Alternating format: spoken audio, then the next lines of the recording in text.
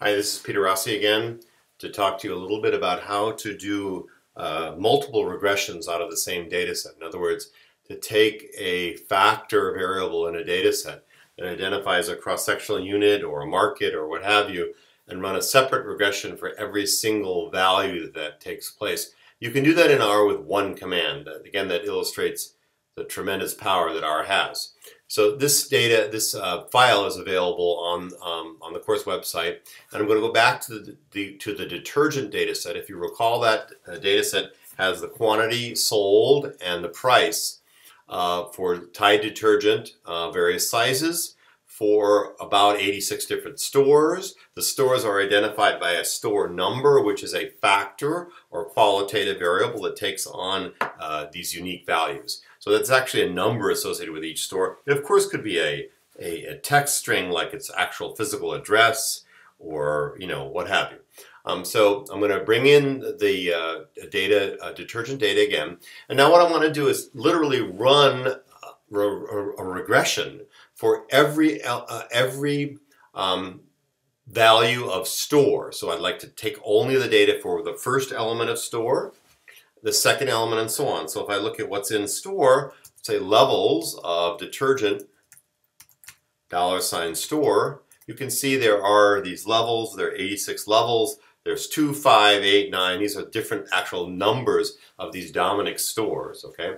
So for each value, I like to take only those observations where store equals 2, the first unique value, and run a regression on that.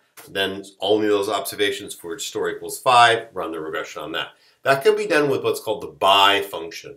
So by says, I'm going to do, by says do something on a data frame for every value of the factor. So which data frame? The first argument is the data frame. That's the detergent data frame you can see right here, right?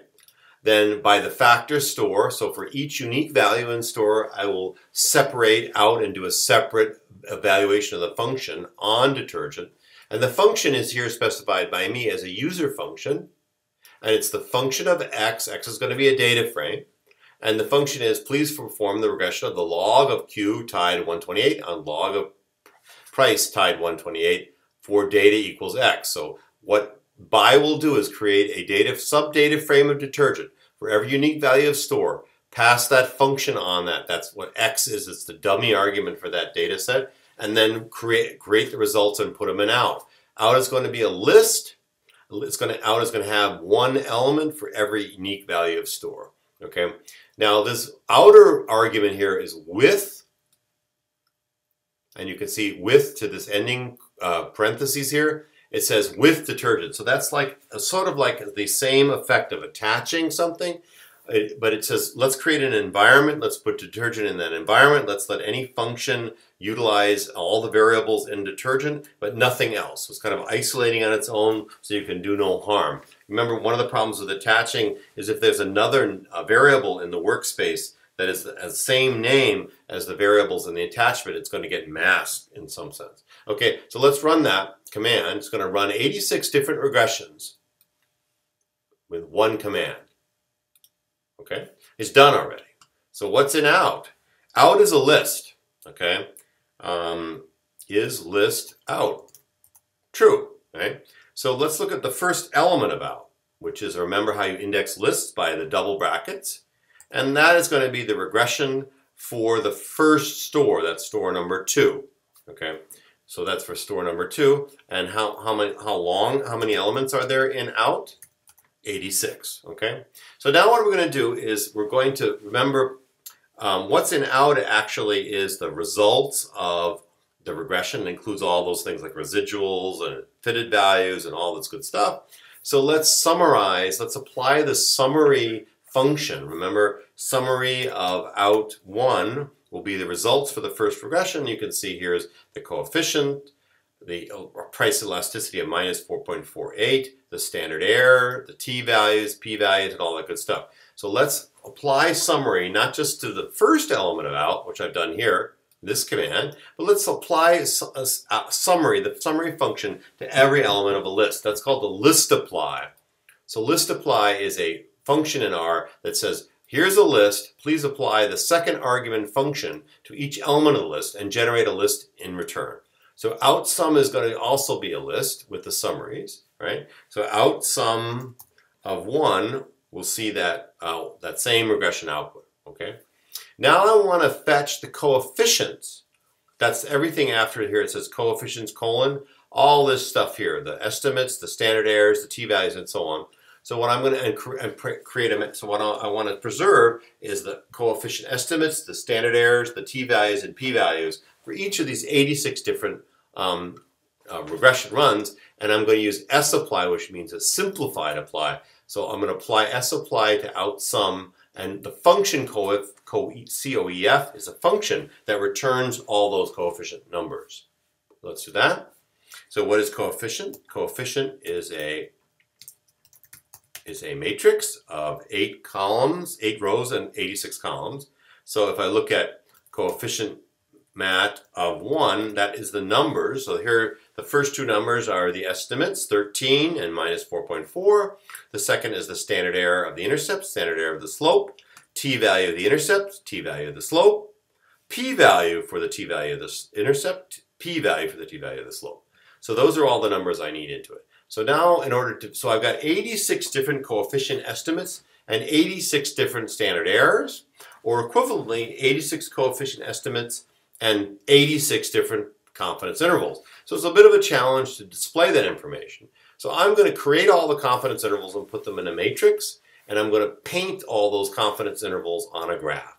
So here I'm going to create this matrix called CI for confidence interval, and I'm going to pick off the relevant elements of the coefficient matrix, the standard errors for the, the price elasticity. So CI of 1 is going to be all the all the price the elasticity estimates. CI of second um, column will be the left interval of the confidence interval, and CI third column will be the right interval.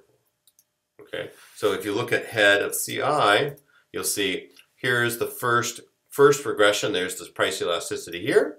Then here's the confidence interval stretching from minus 5.3 to minus 6. Point, uh, excuse me, 3.65, and so on for each of the regressions. Okay. Now let's paint the intervals. So what I'm going to do here is literally create a plot area over here. I'm going to have um, each each confidence interval is going to be a different rung on this graph. I'm just going to stack them all up. Um, and each confidence interval I'm going to paint uh, in red and put a black diamond where the pr price elasticity estimate is. And then I'm going to print a text string here that denotes the, the name of the store, rather the number of the store. So what I'm going to do here is first I'm going to plot. So this, this plot command here just simply just creates the frame. So let me run that so you can see that. See, it created a frame.